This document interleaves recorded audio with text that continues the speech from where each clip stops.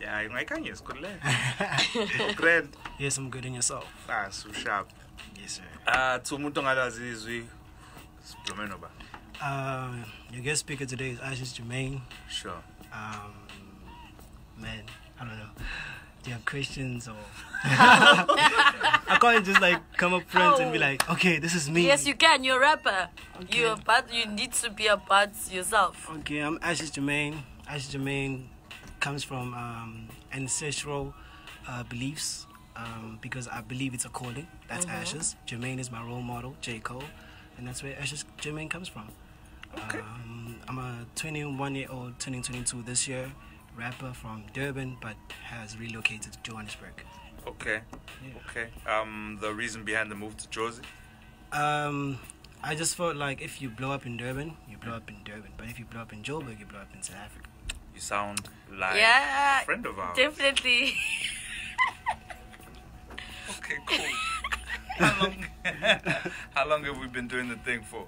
Um, I mean, like I feel like it's inherited from my mother because she was a poet. Okay, dope. So I feel like it's from the womb, you know. So, but I really went in like in high school and I just pursued like hip hop to another level. Showcase. Yeah. Oh, nice one. Nice one. Um, that ukuyibuza. It was a question that popped up. Ukuthi, um, in terms of izinto that you've put out, have there been full bodies of work um, that you tested around the circuit? Like, away- is there still a scene in Durban, like for, for, for MCs, like that are still doing their thing, coming up? Yeah, I believe there's a scene in Durban. Okay, so you so your reasons uh, for moving to MG but um, were, were, were fed by like what, what what's in Joburg that you couldn't you didn't have like say when It's infrastructure.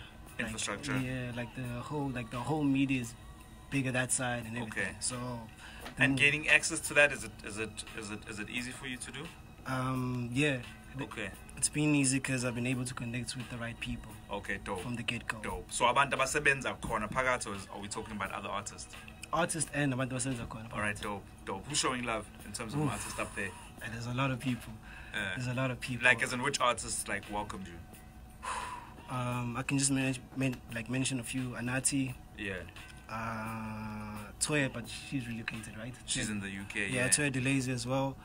Um, and then like DJs, DJ Slick, he gave a, like a proper shout out. DJ Redex, DJ PH, showcase, uh, Wobbly. We also, Showcase. actually like I produced like two songs on his album. showcase. Yeah, and then the list just goes on. All right, dope, dope. Say that again? No, no, nothing. All right, cool. What song are we checking out of his?